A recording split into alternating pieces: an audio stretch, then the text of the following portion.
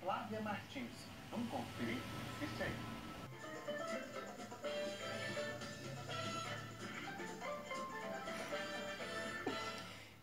A garrafa já está limpa e seca. Usando o primer para vidro, vou aplicar em toda a peça. Eu estou usando uma escova macia, poderia ser também um rolinho ou então um pedaço de espuma. Vou fazer o mesmo passo na latinha e deixar secar por pelo menos 6 horas. É muito importante respeitar esse tempo de secagem. Agora, no passo seguinte, usando a tinta PVA ou acrílica, vou fazer a primeira demão na garrafa e na lata e depois deixar secar para fazer a segunda demão. E assim o acabamento ficar perfeito. Não se esqueça de fazer a pintura nessa parte da frente aí da latinha, porque isso deixa um acabamento melhor. Agora usando um pincel velho e tinta branca com um pouquinho de água, eu vou remover o excesso no tecido e fazer a chuva americana. Ficou tipo um céu estrelado, né? Eu gosto muito desse efeito da chuva americana. Usando a cola de silicone, vou grudar a lata na garrafa. E aí agora eu vou fazer o passo seguinte com essas flores de biscuit que eu comprei em loja de artesanato e a cola de silicone.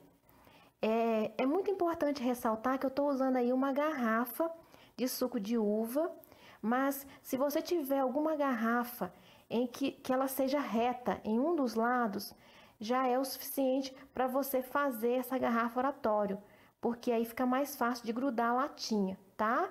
Garrafa de azeite, suco de uva, tem vários modelos que vão ficar aí maravilhosos na garrafa oratório. Tô fazendo aí essa decoração com as três cores é, de Nossa Senhora, que é o azul, o amarelo e o branco. Agora a folha, o papel sulfite, dobrei três vezes, fiz a letra U e a letra M para fazer a flor, as rosas que vão decorar essa garrafa. E aí a parte de baixo eu afinei um pouco para ficar mais fácil na hora de montar. Agora eu vou fazendo esse detalhe aí com a tesoura e usando a cola branca eu vou aplicar em cada pétala. A linha vai facilitar a colagem, vai agilizar o passo a passo então, por isso que eu uso, gosto muito de usar a cola branca e a linha ao mesmo tempo. E aí vai intercalando as pétalas para ficar com um acabamento muito bonito e faz aí quantas rosas você achar necessário para decorar a sua garrafa. E aí faz o retoque aí com um pouquinho de cola branca e olha que lindo que ficou. Agora é só colocar a imagem de Nossa Senhora Aparecida e decorar a sua casa ou vender.